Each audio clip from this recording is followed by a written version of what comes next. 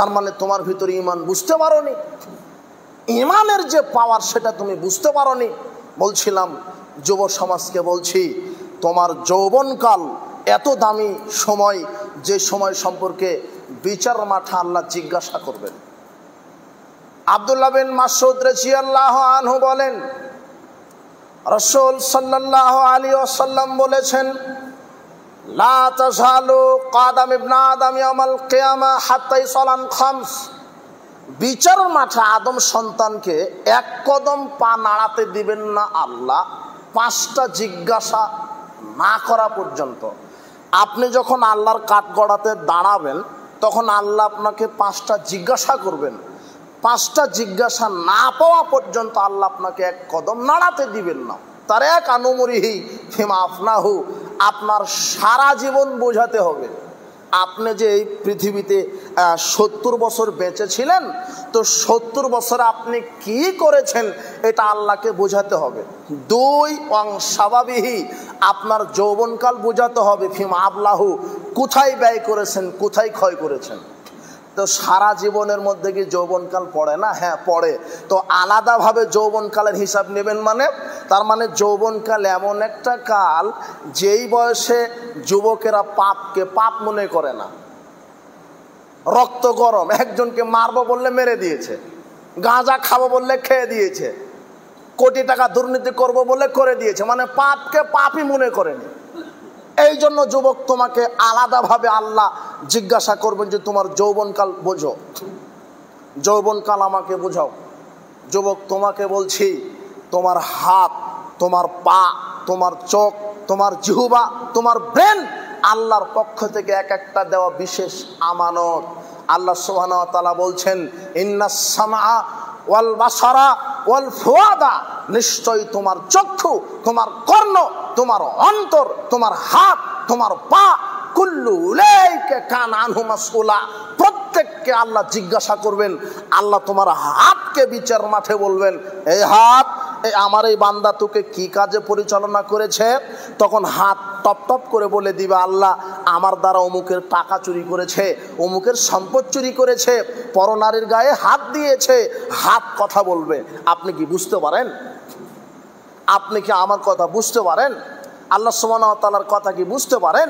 বিচার মাঠে আল্লাহ আপনাকে জিজ্ঞাসা করবেন না। কাকে জিজ্ঞাসা করবেন? হাতকে। বলবেন, হাত, এই হাত, এই আমার এই বান্দা তোকে কি কাজে ব্যবহার করেছে? তখন হাত বলবে যে এ আমাকে দ্বারা পরনারী স্পর্শ করেছে। তখন বাঁচার কোনো পথ নেই। চোখকে জিজ্ঞাসা করবে, চোখ দিয়ে কি দেখেছে? তো হারাম জিনিস দেখেছে। হিংসার নজরে তাকিয়েছে। হিংসাত্মক মনোভাগ নিয়ে তাকিয়েছে। চোখ দিয়ে মানুষকে হত্যা করেছে মানে হিংসাত্মক মনোভাব দিয়ে। চোখ দিয়ে জেনা করেছে, চোখ টপ টপ করে বলে দিবে। পাকে জিজ্ঞাসা করবে, পা, তোকে দ্বারা আমার এই বান্দা কি করেছে? পা তখন বলে দিবে যে, আমার দ্বারা এই কাজ করেছে, দুর্নীতির পথে চলেছে, সুদের পথে চলেছে, জোয়ার আড্ডাতে গেছে, ঘুষের আড্ডাতে গেছে, সেই দিন বাঁচার কোনো পথ থাকবে না। বলছিলাম, আল্লাহর দেওয়া আমানত আল্লাহর পথে ব্যয় করতে হবে, তাহলে আপনি বিচার মাঠে টিকতে পারবেন, না হলে আপনি ধ্বংস হয়ে যাবেন, ক্ষতিগ্রস্তদের মধ্যে অন্তর্ভুক্ত হয়ে যাবেন। বলছিলাম, পাঁচটা জিজ্ঞাসা ছাড়া যুবক তোমাকে নাড়াতে দিবে না। এক, তোমার সারা জীবন। দুই, যৌবনকাল। তিন, আন মালিহি, তোমার সম্পদ। মিন আইনা আক্তা সাবাহু কোথায় থেকে ইনকাম করেছেন? হালালভাবে ট্যাক্সি চালিয়ে প্রাইভেট কার চালিয়ে, হালাল চাকরি করে, মানুষের বাড়িতে কাজ করে হালালভাবে নাকি দুর্নীতি করে, চুরি করে, জোয়া খেলে, মদ বিক্রি করে কীভাবে ইনকাম করেছ? আপনার এই রিজিক, অর্থ সম্পদ আপনাকে বিচার মাঠে আল্লাহর সামনে জিজ্ঞাসিত করবে। আপনাকে হিসাব দিতে হবে। শোনেন, আপনাকে একটা কথা বলি। আপনি কোটি টাকার মদ ব্যবসা করেন। আপনি হাজার কোটি টাকা দুর্নীতি করে সম্পদ অর্জন করেছেন। আপনি কোটি টাকা দুর্নীতি করে সম্পদ অর্জন করলেন, কোটি টাকা সুদের মাধ্যমে, ঘুষের মাধ্যমে আপনি সম্পদ অর্জিত করলেন। অর্জিত করা সম্পদ আপনি যে ভোগ করতে পারবেন আর কোনো গ্যারান্টি নেই।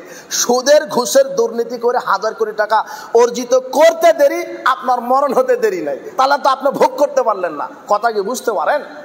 আপনি হাজার কোটি টাকা দুর্নীতি করে সম্পদ অর্জন করলেন, এই সম্পদ আপনি খরচ করতে পারবেন, ব্যয় করতে পারবেন, এই গ্যারান্টি নেই।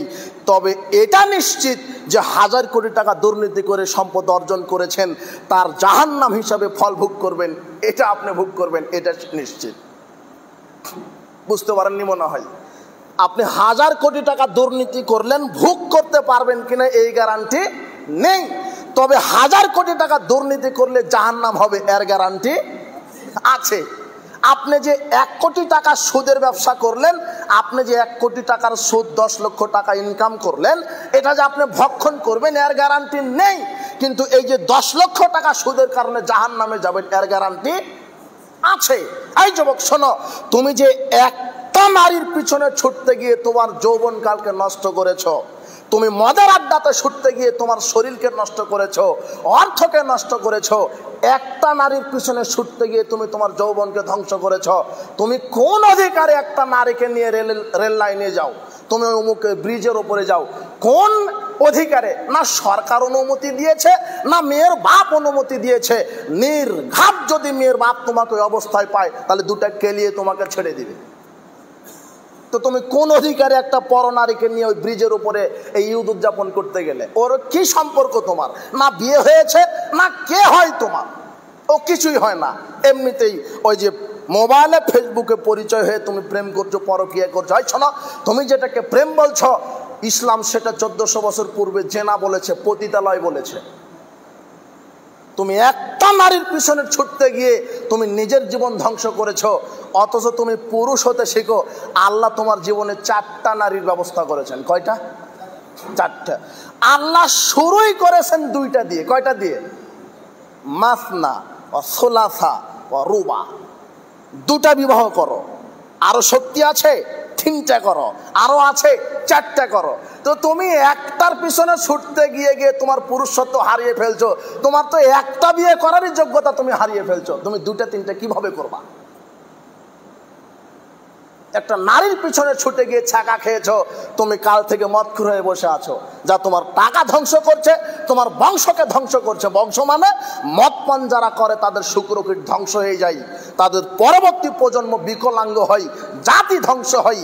তুমি একটা নারীর পিছনে ছুটতে গিয়ে নিজের জীবনকে ধ্বংস করেছ ছেঁকা খেয়েছ, মদ পান্নে অভ্যস্ত হয়ে গেলে মৎখুর হয়ে গেলে, ওই নারীর অন্য জায়গায় বিবাহ হয়ে গেল, ওই নারী অন্য জায়গায় টিকতে পারল না, কেন সে তোমাকে ভালোবাসে?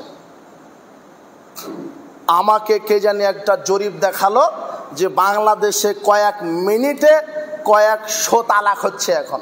তালাকের হার বেড়ে গেছে, তার প্রমাণ হচ্ছে পরকিয়া প্রেমালাপ।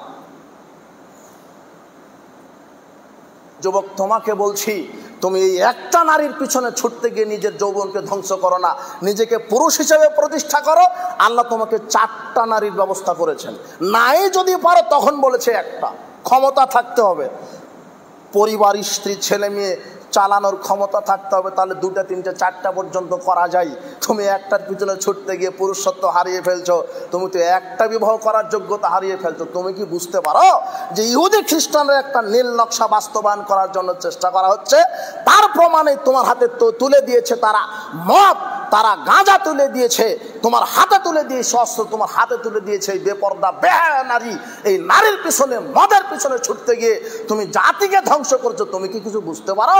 তুমি যে নিজেকে শিক্ষিত বলে দাবি করছ, তোমার মাথায় তো ঘেলু নেই, তোমার মাথায় তো ঘেলু নেই যদি বিবেক থাকতো, আকল থাকতো, তাহলে তুমি নিজেকে পুরুষত্ব প্রমাণ করে দেখিয়ে দিতে, নিজের এই বডিকে ইসলাম কায়েম করে দেখিয়ে দিতে, তাহলে তুমি এই জান্নাত পেয়ে ধন্য হতে। তুমি কেন জাহেলিয়াতের দিকে গেলে?